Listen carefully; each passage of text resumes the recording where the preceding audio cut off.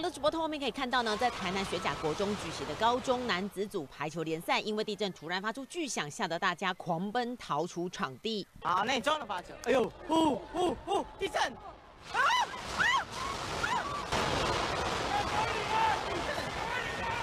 台南市二十二号连续发生十四个地震，那么晚上八点四十分发生瑞士规模五点四地震，属于极浅层地震。那么台南地震异常频繁，情况相当不寻常，就连民宅当下大家都是夺门而出。